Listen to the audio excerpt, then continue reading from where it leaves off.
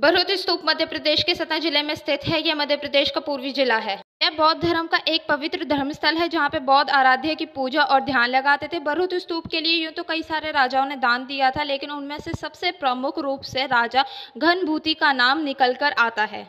यह स्तूप तीसरी शताब्दी ईसा पूर्व का है, जिसका निर्माण सम्राट अशोक ने करवाया। इस प्राचीन स्तूप की देखरेख का कार्य कई राजवंशों में प्रमुख रूप से किया, जिसमें अशोक महान का नाम उभर कर बाहर आता है। कलिंग युद्ध के भीषण रक्तपाल के पश्चात उनका हृदय परिवर्तन हो गया था।